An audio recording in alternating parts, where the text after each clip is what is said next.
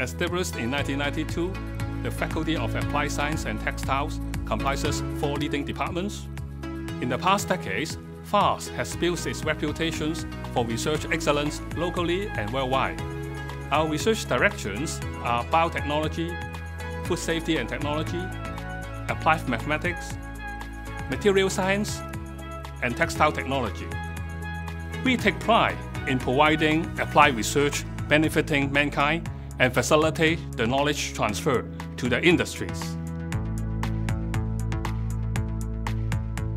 High efficiency white OLEDs, which are environmentally friendly, energy saving and low cost, are a promising alternative for next generation illumination sources. We are focusing on the use of phosphorescent transition metal complexes to enhance the device efficiency. When compared to the traditional three-color light system, our team is also trying to use two colors, blue and orange, and solution processing techniques, which would allow the fabrication of larger area and flexible devices.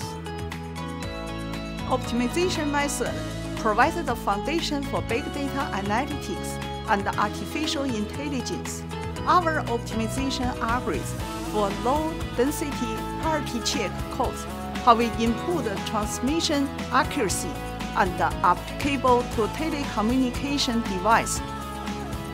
Our optimization method can be used for sparse signal recovery. Our optimization codes have formed the backbone of the nearest correlation software in NAGGR library for quickly identifying the interdependent risk of financial institutes. WiseEye is an AI-based fabric defects detection system. It adopts a novel machine vision technology, which can automatically and instantly locate your fabric defects and measure its size. As it can be integrated with the weaving machine, fabric manufacturing and inspection can be carried out simultaneously. 90% of loss and wastage caused by substandard fabric production can be greatly minimized. WiseEye is a groundbreaking technology to automate the textile industry. We're happy that our quality education is underpinned by the cutting-edge research facilities. We host four university research facilities, various research centers, and home to two state key laboratories. UMF has hosted the most advanced equipment for materials characterization and device fabrication. The facilities enable our researchers to develop novel electronics, optoelectronics, and biosensors.